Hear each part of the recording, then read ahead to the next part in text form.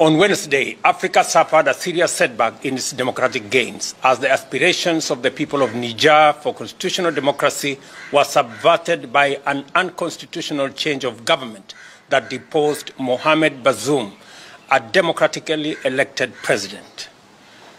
The Republic of Kenya joins the rest of the world to condemn in the strongest terms this unconstitutional act that subverts democracy through a coup d'etat and calls for the immediate release of President Mohamed Bazoum, who is reportedly seized by members of the Presidential Guard. Throughout our continent's history, we have strived tirelessly to nurture the principles of democracy, aligning ourselves with the aspirations of the African people for freedom and self-determination. This fundamental norm is crystallized in Article 4P of the Constitutive Act of the Africa Union, which unequivocally condemns and rejects any unconstitutional change of government.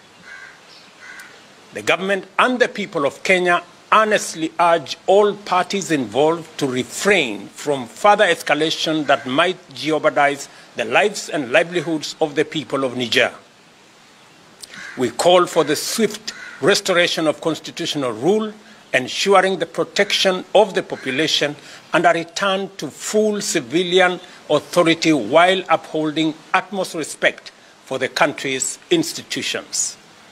In this moment of strife, we implore all parties to engage in constructive discourse to restore peace in this fraternal nation, which has steadfastly stood as a bulwark against terrorism and its agents in the Sahel region. The resurgence of military coups and attempts to subvert the will of the people on our beloved continent demands a united and global response to hold those responsible accountable for their actions. Let us stand together as one to reaffirm our commitment to democracy, liberty, and the progress we have achieved. We must remain vigilant, guarding against any slide back into dark days that threaten the hard-fought gains in democracy.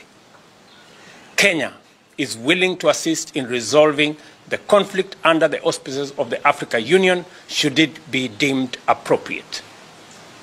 Africa shall continue to shine as a beacon of hope and progress, and we shall never waver in our pursuit of a brighter future for all.